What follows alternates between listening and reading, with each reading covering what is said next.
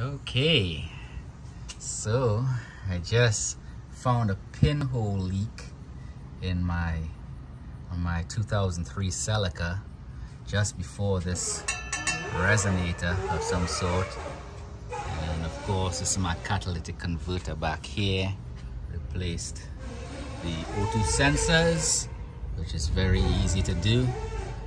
Uh, you know upstream upstream and downstream then I found this leak because I'm getting a lean reading on my my sensor my my OBD2 so I found this leak after running some uh, air through the muffler and putting some soap.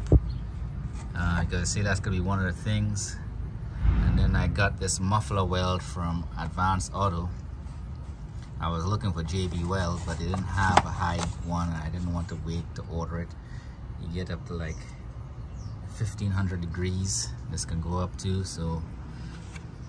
And it comes in one of these these jars. You unscrew it.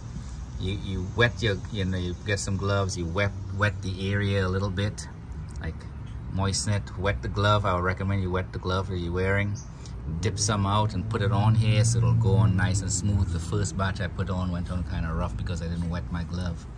Once I wet my glove the second time, I put it around that seam right there. It worked out great. It went on much, much more smoothly.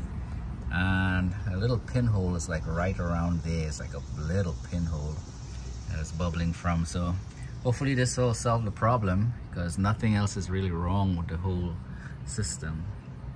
All this is fairly new so um, if you have any questions ask it in the comment section down below. Like and subscribe and I'll keep you all posted on how well this thing does in about a month or two. I have to let it sit overnight so fortunately it's on my lift and this lift is working out really well. You get to do a whole lot of stuff uh, without too much fanfare. And don't have to contort my body all over the place. You know, I keep it covered, it's outside. I do oil changes, $20 oil changes. Uh, just people bring their own oil and filter.